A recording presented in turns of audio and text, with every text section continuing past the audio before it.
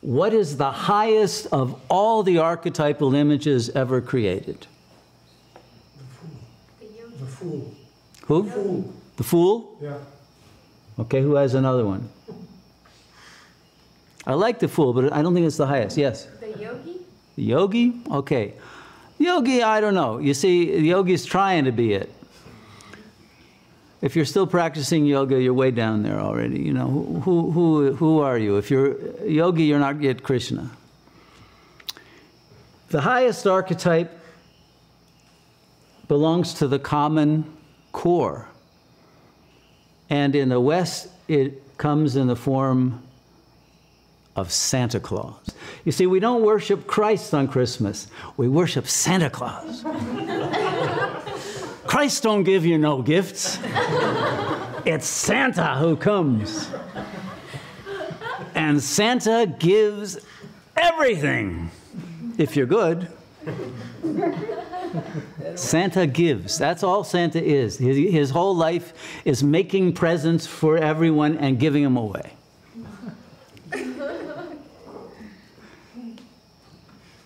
now, who gives anything to Santa Claus? You know, sometimes they put out a cup of coffee on the mantle and it's okay. But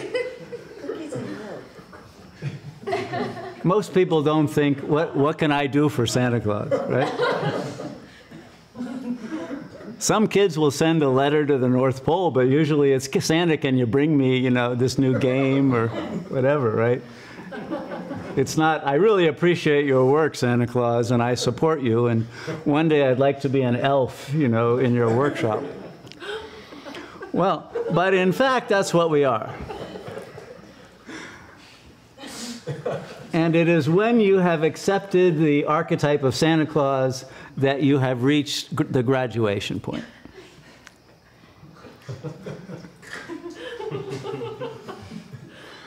I don't know why people are laughing. why? Because what does Santa Claus give? He gives you a present. Mm. Most people only have a past. Santa gives you a present. He gives you divine presence. That's what the gift is under the tree. And what is the tree? It's the tree of life. It has to be an evergreen, right? When you have arrived at the tree of life and the star of Bethlehem, the star which is that ultimate point of infinite light that is the, the absolute image of Shiva, and, and you are within that field of delight, of joy, of that is Christmas, the season of Christmas, and everyone comes to the tree, and there are gifts for everyone because Santa was very generous and it's all there, then everyone receives a present. And it is that. And, and a gift literally makes you present. You say, wow, this, you know, and you want to open the, the surprise package and all of that. It makes you come alive and want to be here now might be disappointed. Oh, that's, but if Santa gave you the gift, you'll say, whoa, this is better than anything I could have imagined. So it is the presence that is the real gift. And if you are willing to accept Santa's gift of eternal, evergreen presence, then you are liberated. And what that presence gives you is a pass to the North Pole and a red suit, and then you now become Santa Claus. Because that's the, the final uh, role that anybody can play. Giving everything and keeping nothing for yourself. That's the complete emptying out. That's the kenosis uh, of, of Christ and of Buddha and of, of the, the yogi who has finally released the I thought and all the agendas and desires and fears and all of that. And then what is left is just infinite love. Infinite love for all that is, because all that is, is the self. And the more you give, therefore, the more you get. Because the one receiving the gift is yourself.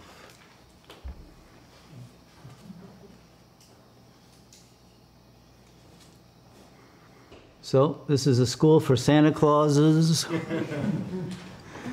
and it's when we are willing to play that role without hesitation, without feeling, I still need something from the other before I can give, you see.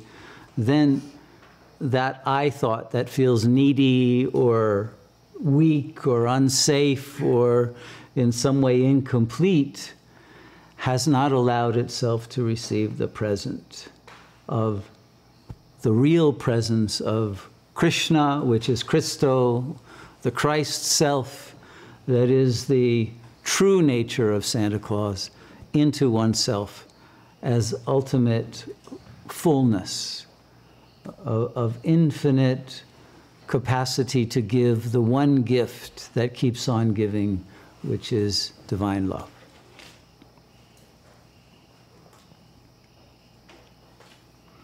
So I'm going over time, but I, I think there are still some notes. I don't know why I still have more notes, but okay. Here's here's what we have to get to. If this is going to become real for us, the world is full of poison, and the other side of Santa Claus is represented by Shiva in Shiva's act of taking all the poison of the world and swallowing it. Okay? So our job is not just to give gifts, but it's to take away poison. Everyone who is in a traumatized state or, or an ego state in which there has been any kind of wounding has poison that needs to be extracted, removed, and if you're willing to accept that poison as an act of Shiva and hold it in your throat, this is the key point. Shiva doesn't swallow it so that the poison doesn't go down to his heart, doesn't affect his love, and it doesn't go up to his brain, doesn't pass the blood brain barrier, doesn't affect the conscious mind and the will. And in the throat chakra, this is our capacity to express, to transmit. This is the chakra of the arts. And what the arts are, are the transformation of poison into beauty, into wisdom, into all of the forms of culture in which that poison, with its sting removed, becomes medicine. Because that's all medicine is, is poison that was inappropriately dosed. Right? So once the poison has been transformed into medicine, then Shiva becomes Santa Claus and gives it out. The, these are the two sides of the same archetypal image.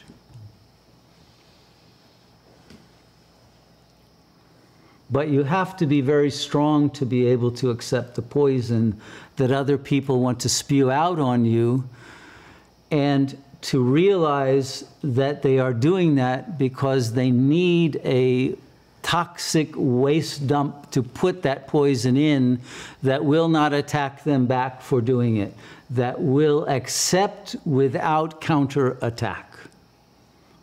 Okay? If you are willing to accept the poison that other people need to spew at you because they can't contain it anymore because it hurts too much, and if you can accept it and turn it into love and forgiveness, then you have completed a true relationship with the other that enables them also to recognize their divine nature and to let go of any inferiority or superiority complex that was defending against the poisonous feeling of lack.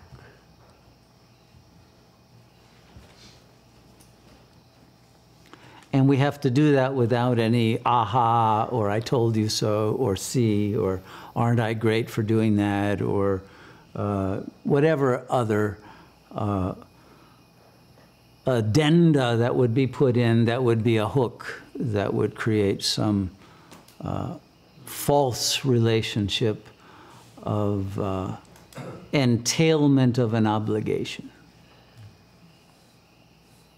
There must never be such an obligation put on the other to be thankful, to love you, to have gratitude, uh, to grow up. None of it. You cannot demand anything from the other except their freedom to be who they are as a pure letting go and release. So, if we're going to play that role, then the question that you need to answer in your heart is this Am I willing to forgive everyone who has hurt me?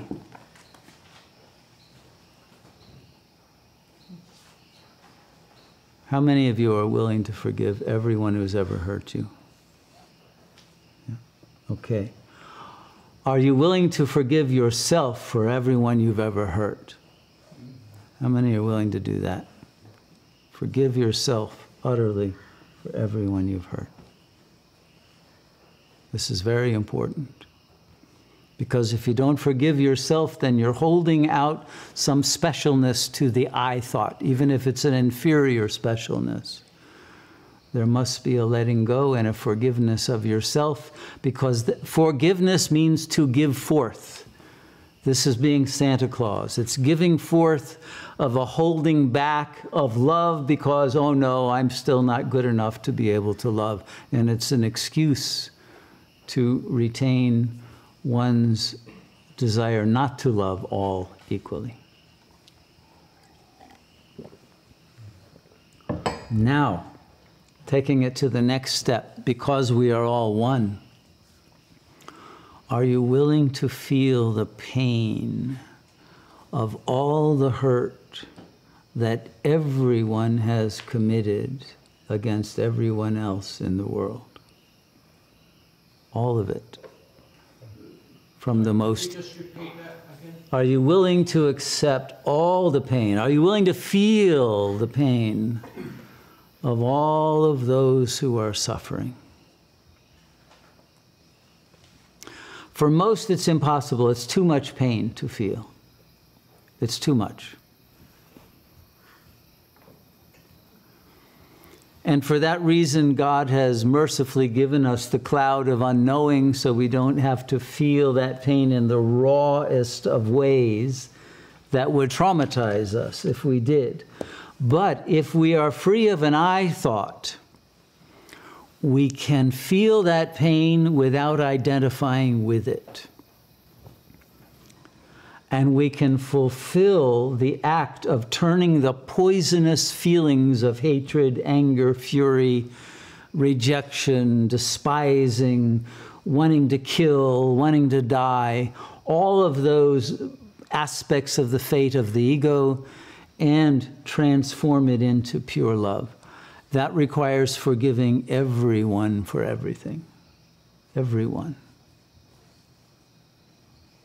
Are we willing to forgive everyone? How many are willing to forgive everyone for everything? It has to be unconditional.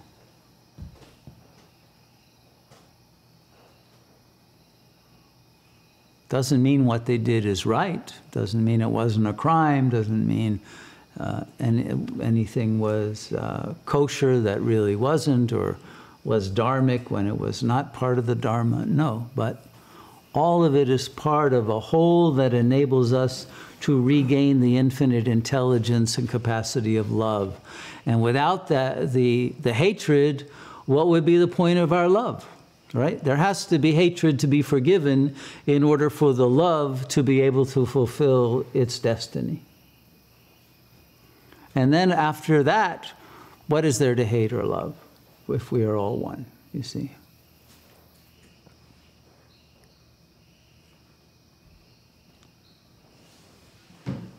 And in that freeing, that forgiveness of all, of the self, of God, we have to forgive God because many people are angry. How did God allow this to happen? Why didn't God intervene? You know, how did God allow Trump to get in there? How did God allow Bush? How did God allow whoever is your nemesis? How did God allow this or that? Uh, how did God allow my parents to treat me the way they did? How did God allow the world not to recognize my beauty, love, joy, goodness, strength, intelligence, whatever? Can you forgive the very laws of the universe for being as they are? Everything. And let it all go.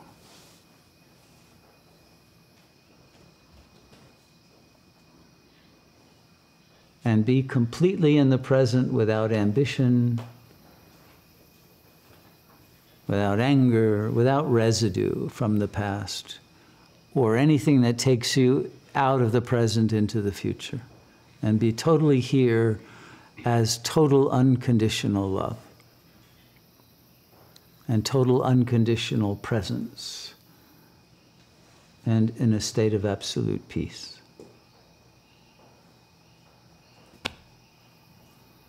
without needing to prove anything, get anything, change anything.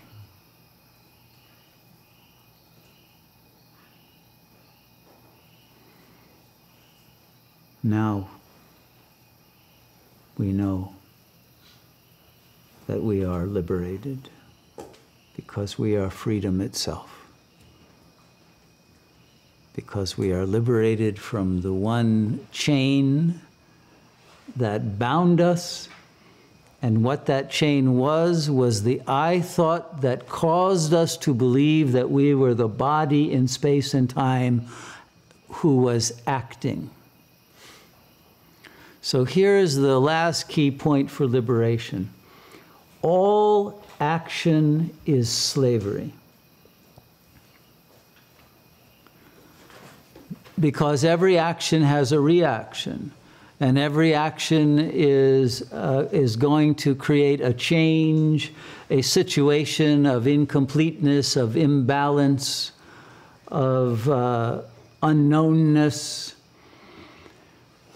Does the real self act? No, there is unchangeable, immutable presence.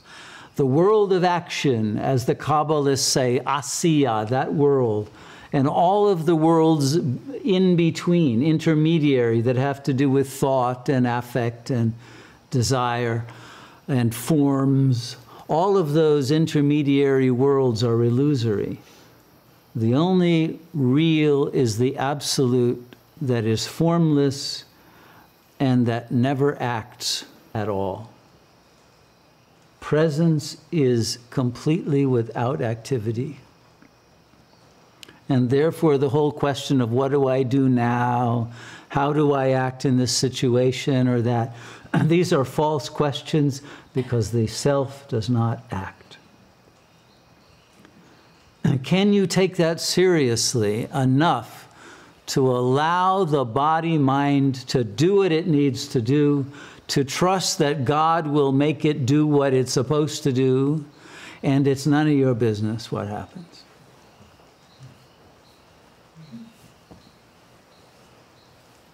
That's up to Krishna. He's running your chariot. Even though he's invisible, he's running your chariot.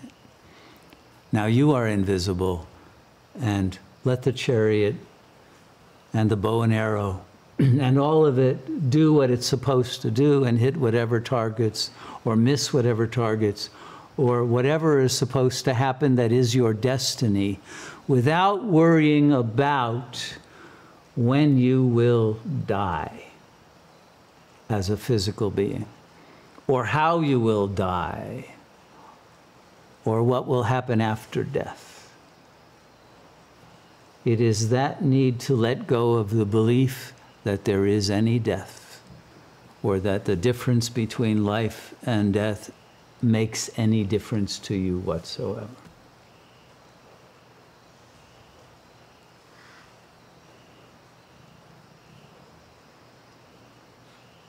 When you are pure awareness, bodiless, genderless, ageless,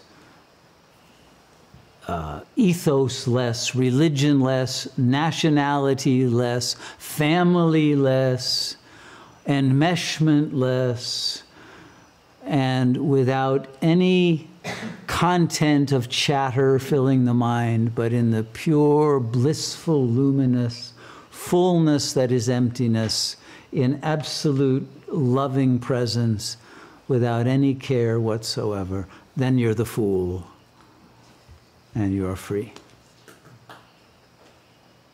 How many here are fools? All right.